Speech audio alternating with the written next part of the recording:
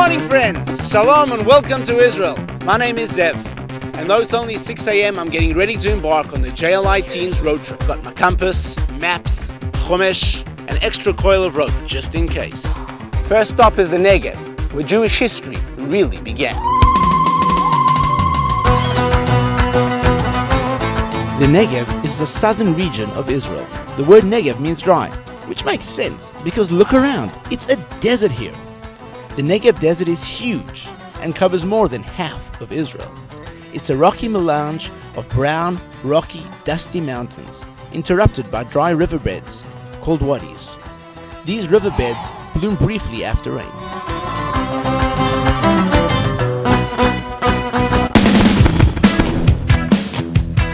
Whew, am I hot and thirsty. Not even a drop left. You can see that over here in the desert, water is a really precious commodity and nothing can go to waste. Israel's at the forefront of technology, making sure that every single drop counts. Not one drop goes to waste. Today, Israel's water technology is exported all over the world. But the very first Israeli export was belief in one God, and that also came from this region. I've always wondered why here in the Negev, what's so special about this place? And today we're going to find out. Our first stop is Beersheba. Vayomer Hashem el Avram, Lech Lecha. And Avraham comes and dwells in Beersheba. Beersheba was an important stopping point for many, since it was located on ancient trade routes. It was a bridge between three continents, Europe, Asia, and Africa. In this spot, many peoples, cultures, and civilizations collided. It was, and still is, the largest city in the Negev. Beersheba, the old and the new. Just behind me, we have the train tracks from the times of the Turks, and above them, the modern train tracks, connecting Beersheba in a network with the rest of Israel and the world. Here at the gate of the city was the main well, where people would come draw water for drinking purposes, for their livestock, and this in fact is how the city gained its name, Be'er Sheva. Difficult to imagine that 4,000 years ago this was a bustling metropolis. Oh, if these stones could talk. They've seen Abraham, Isaac and Jacob. Here our forefathers came and they set up their families, they set up a nation, and from here their message went out onto the world. David Ben Gurion, the first Prime Minister of Israel, believed in the Negev. He saw it really as the key to the survival of the State of Israel. It was his passion and his dream to turn the wasteland into a flowering oasis. And today, today it's really happening.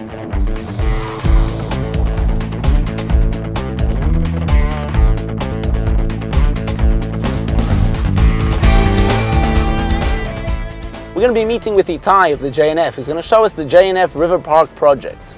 Hey, Itai! how are you? Good to see you.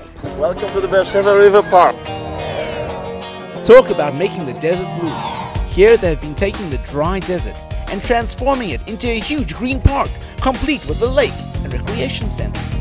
I wonder what Abraham would say.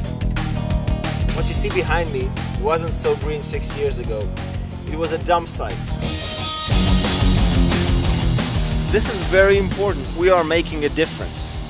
Itai, thank you so much for showing us this project.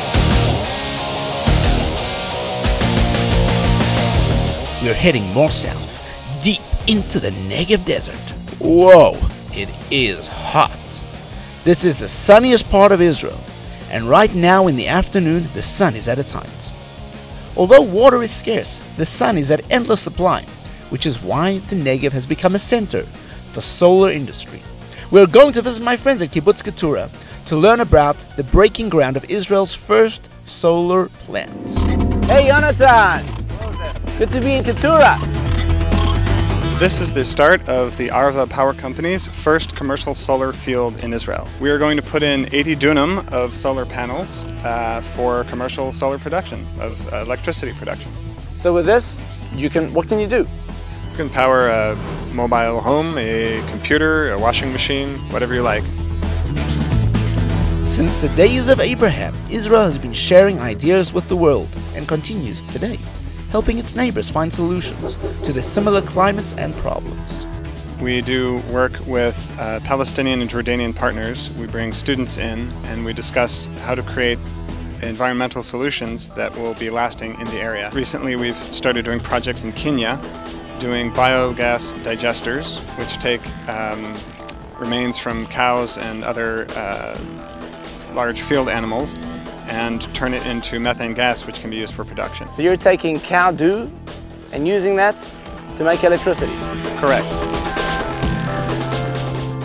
You know, JLI teens, we spent the whole day traveling around Israel, seeing how the desert has been cultivated, how the brown has become green, and I just can't believe it. There are people here who talk about doing things, and there are people who actually live the mission.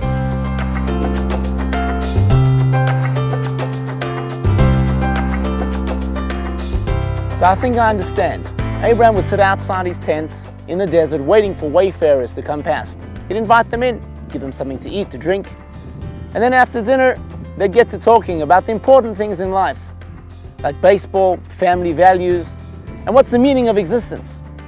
And Abram would teach them about the existence of God. As if on fire, when they left the house of Abraham, they'd go rushing to tell their neighbors, their friends, family, and even strangers. And that way, the message of Abram spread far and wide across the world.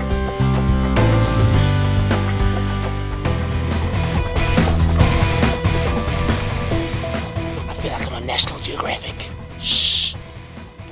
Grazing are cows and camels. Let's see if we can get any closer to them.